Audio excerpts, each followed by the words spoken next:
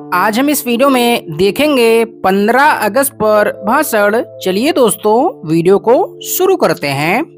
ना पूछो जमाने से कि क्या हमारी कहानी है। हमारी पहचान तो यही है कि हम हिंदुस्तानी हैं, हम हिंदुस्तानी हैं। माननीय मुख्य अतिथि, आदरणीय शिक्षकगण और मेरे प्यारे देशवासियों, आप सभी को स्वतंत्रता दिवस की हार्दिक शुभकामनाएँ। जैसा कि हम सभी जानते हैं कि आज 15 अगस्त है और हम सभी यहाँ अपने देश का अठहत्तरवा स्वतंत्रता दिवस मनाने के लिए उपस्थित हुए हैं। दोस्तों 15 अगस्त 1947 को हमारा भारत देश ब्रिटिश शासन से आज़ाद हुआ था, जिसे आज़ाद कराने के लिए न जाने कितने स्वतंत्रता सेनानियों ने अपनी जान गंवाई थी।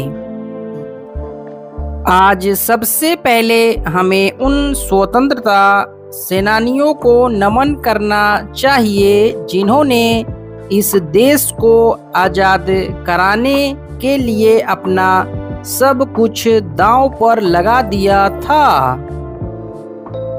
यह दिन हमें महात्मा गांधी जी भगत सिंह, राजगुरु, सुखदेव, सुभाष चंद्र बोस, पंडित जवाहरलाल नेहरू, मंगल पांडे चंद्रशेखर आज़ाद, रानी लक्ष्मीबाई, सरदार वल्लभ भाई पटेल, लोकमान तिलक, लाला लजपत राय समेत सैकड़ों महान स्वतंत्रता सेनानियों के त्याग, तपस्या और बलिदान की याद दिलाता है। स्वतंत्रता दिवस हमें याद दिलाता है। कि हमें अपने देश को और उसके मूल्यों को सम्मान देना चाहिए। ये हमें याद दिलाता है कि हम अपनी स्वतंत्रता को निश्चित रूप से इस्तेमाल करें। आज़ादी के बाद हमारे देश ने बहुत तरक्की की है। साइंस टेक्नोलॉजी, कृषि, शिक्षा, आर्थिक, साहित्य, खेल आदि क्षेत्र में भारत बहुत तरक्की कर चुका है। परंतु आज भी हमारे देश में आतंकवाद, भ्रष्टाचार, बेरोजगारी, असमानता जैसी समस्याएँ हैं। तो आइए आज स्वतंत्रता दिवस के अवसर पर हम सभी प्रतिज्ञा करते हैं कि इन सभी समस्याओं को सुलझाने का हम पूरा प्रयास करेंगे और अपने देश भारत को विश्व का सर्वश्रेष्ठ देश बनाएँगे।